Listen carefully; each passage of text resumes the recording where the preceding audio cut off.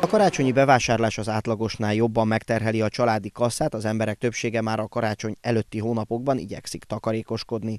Általában mindenki megpróbál személyre szabott ajándékot választani szeretteinek. Általában leginkább, hogy mindenkinek úgy igyekszek, hogy személyre szóló legyen, amire leginkább hát szüksége van, vagy amire vágyik. És akkor utána általában boltokban online nem nagyon szoktam, és akkor boltokba elmegyek, megkeresem, ami úgy megtetszik, meg ami úgy, úgy gondolom, hogy jó lehet neki, akkor azt megveszem.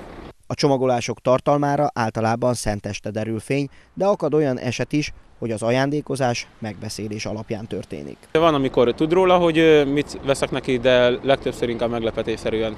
Vannak olyan családok, ahol a gyermekek levelet írnak, és a szülők próbálják teljesíteni a levélben foglaltakat.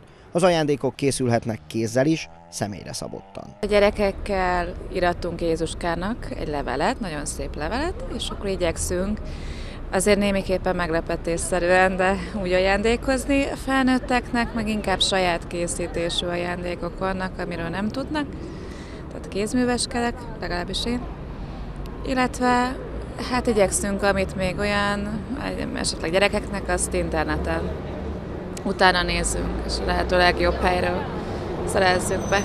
Idén a nagy elektronikai szaküzletek és hipermarketek mellett jelentős szerepet kap az internetes vásárlás is. Az elektronikus piacok színesítik a lehetőségeinket. Igazából helyzetfüggő, szóval ha az illetőnek olyan kell, amit csak az internetről tudok beszerezni, akkor onnan, de amúgy pedig akármelyik boltból.